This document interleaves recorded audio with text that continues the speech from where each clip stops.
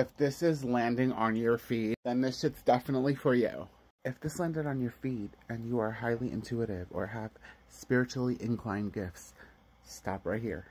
For those of you who want to learn, stop right here. Protect your energy, protect yourself, protect those around you, protect your home, protect your belongings, protect everything around you.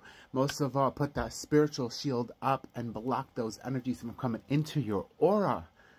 And I'm not just talking about the spiritual aspect. I'm talking whether you're Christian, Buddhist, Muslim, Jehovah, whatever your belief is. Protect your energy. Energy does not lie. Numbers do not lie. Everything is written in numbers and sequences. Everyone has a passage to read, a passage to go through. We're all fucking different, but we all are supposed to love one and be one and protect one, not be separated. And if you're new to all this, man, know how to use your resources and know how to use it safely.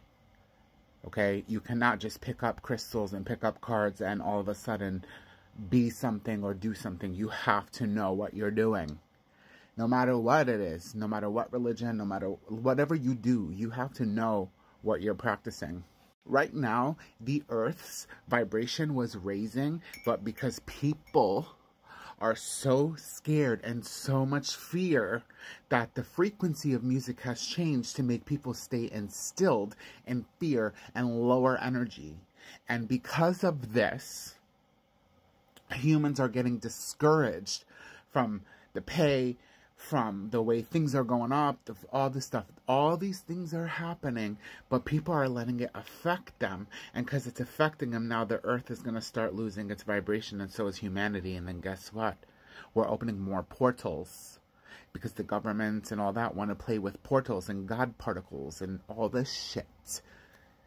So the only thing you can do is center your energy and allow that light in and be that light so that way your light can expand and touch and become a domino effect onto others. Stop gossiping. Stop spreading. Stop sharing fear.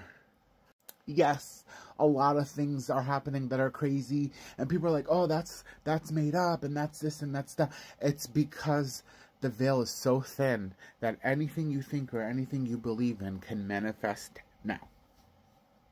The only manifestation we should be doing is protecting ourselves and those around us and healing Mother Earth, healing what God gave us.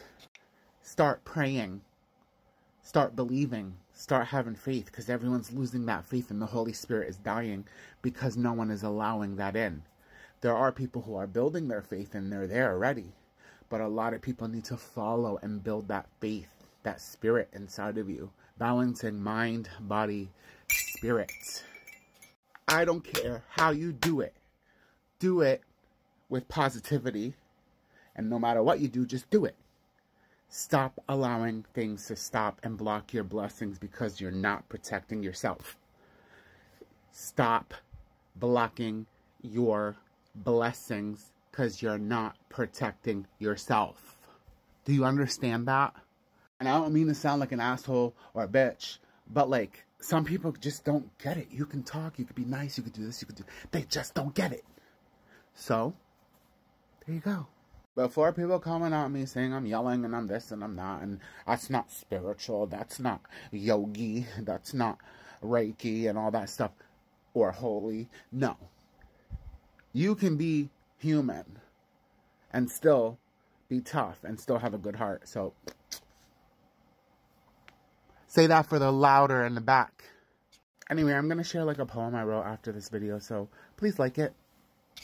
You must be mistaken, starting to get big shaken. I'm not the one to test, cause honey, I ain't the rest. Stricken, bitten, venom, poison. I can be all that in the cure, but for those hearts not pure, get 'em making all this noise and can't bury it and call it end then.